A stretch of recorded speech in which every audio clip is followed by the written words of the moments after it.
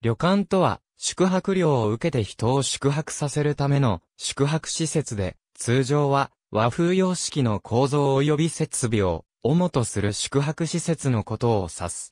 日本旅館とも言う。旅館の種類には、観光利用や行楽利用主体の温泉旅館や観光旅館、割烹旅館などのほか、都市部にあるビジネスや修学旅行利用主体の承認宿がある。一般には中大規模の施設から個人、家族的な小規模で行われているものまである。このうち、個人の住宅と同じような構造のものや、宿主が他の産業を主体とした兼業の場合は民宿と名乗ることがある。旅館の歴史をたどると、現代の日本の文化芸術的な熟成期である江戸時代は、江戸幕府と京都の朝廷をつなぐ東海道、中山道などの五街道を中心とした旗ごと、温泉地、湯治場の温泉宿とがあった。旅館の玄関旅館の看板温泉地の旅館の例日本の旅館業法では、旅館業と旅館営業とでは概念が異なる。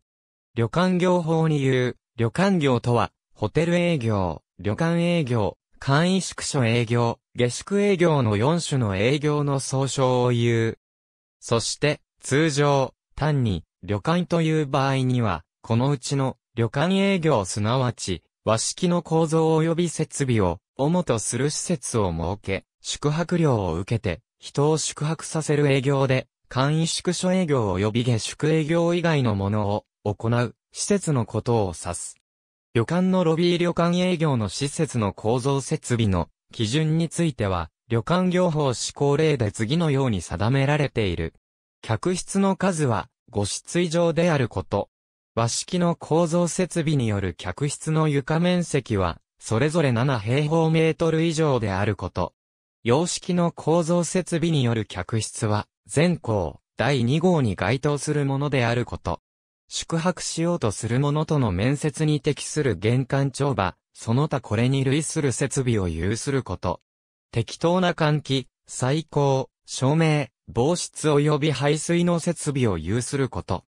当該施設に近接して、公衆浴場がある投入浴に支障をきたさないと認められる場合を除き、宿泊者の需要を満たすことができる適当な規模の入浴設備を有すること。宿泊者の需要を満たすことができる適当な規模の洗面設備を有すること。適当な数の便所を有すること。当該施設の設置場所が学校等の敷地の周囲おおむね100メートルの区域内にある場合には、当該学校等から客室または客にダンスもしくは、社交心をそそる恐れがある遊戯をさせる。ホールその他の設備の内部を見通すことを遮ることができる設備を有すること。その他都道府県が条例で定める構造設備の基準に適合すること。旅館業を経営しようとする者は、都道府県知事の許可を受けなければならない。この際には申請書に営業の種別を記載しなければならないが、これとは別に営業施設の名称も記載することとなっている。したがって、営業の種別については、旅館営業として申請している場合であっても、営業施設の名称については、旅館、民宿、ホテル、ペンションなど、経営者の設定に委ねられているため、実際には、括弧のイメージ戦略などから、規模の大小、経営形態に関わらず自由に名乗っているのが、実情でもある。そのため、旅館、民宿、ホテル、ペンションなどの線引きは曖昧である。なお、許可の際の構造設備の基準など、法令の適用については、営業施設の名称ではなく、経営者の申請した営業の種別に従ってなされることになる。洋式のホテルと和式の旅館が混在しているという意味も含めて、日本独特の文化と考えられる。要件ではなく、例外もある。現代の日本社会において、和の風雅を感じさせてくれる場所として、貴重な存在と言える。多くの文人墨客は、風情ある伝統的な旅館を好み、東流の間に作品を書くなどした。石川虎次と中川八郎を止めた江沢館。当時は造船所を経営していた民家であった。二人の画家との出会いがきっかけで、旅館業に転じ後には、安井宗太郎も宿泊した。全室露天風呂付き客室露天風呂付き客室京都にある料理旅館玉藩の伝統的な朝食。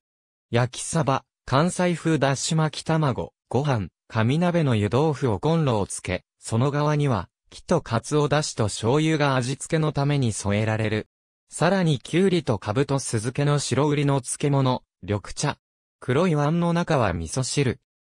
二組の布団が敷かれた客室ターゲットを外国人に切り替えた旅館宴会ブームの崩壊で、都心に近い観光地の高級旅館、ホテルは経営に苦戦して、ブームの最中に建設された施設の中には、倒産や閉店に追い込まれた施設も出ている。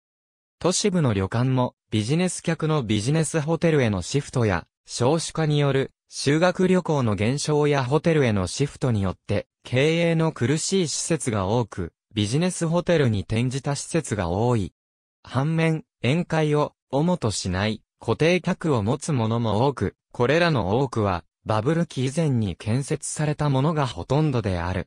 安定した顧客があるため経営状態も安定している。固定客が多いため、大々的な広告を出さずとも経営の成り立っている旅館も多々ある。古くからの旅館によっては経営者の高齢化が進み、少子化の影響で後継者ができず、次世代の代替わりが行えない業者も出ている。収支面では経営が成り立っていても後継者問題で閉店になるケースも見受けられる。特殊なケースでは、和室の低価格宿泊施設を売りに、外国人や学生合宿を主なターゲットに切り替え、成功を収めたところもある。かつて当時宿では、自炊が基本であったが、次々に観光旅館へと姿を変えた。温泉街には、通常の旅館の他に、自炊旅館が存在する。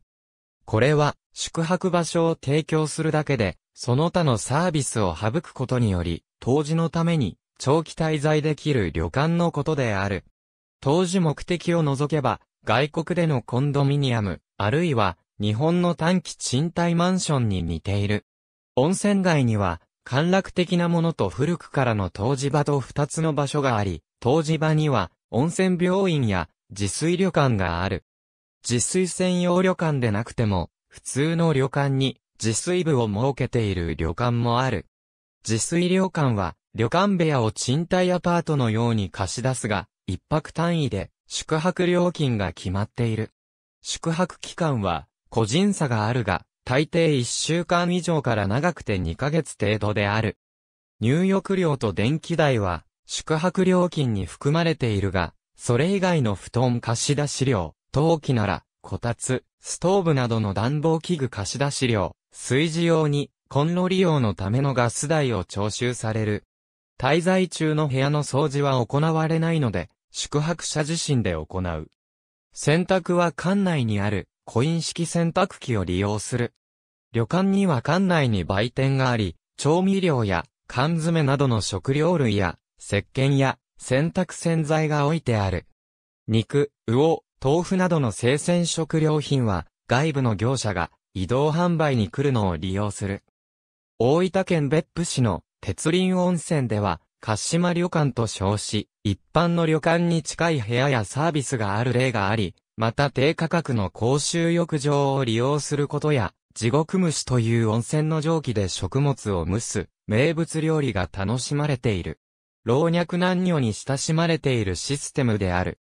温泉旅館は季節変動もあり、もともと高収益な事業構造ではないが、施設、設備の更新競争、大型化のため、借り入れを重ねてきた。エージェントもそれを推奨してきた。また、金融機関も、地域の有力な地場産業として貸し込んできた。このため、一般に、借り入れ過剰となっている。ありがとうございます。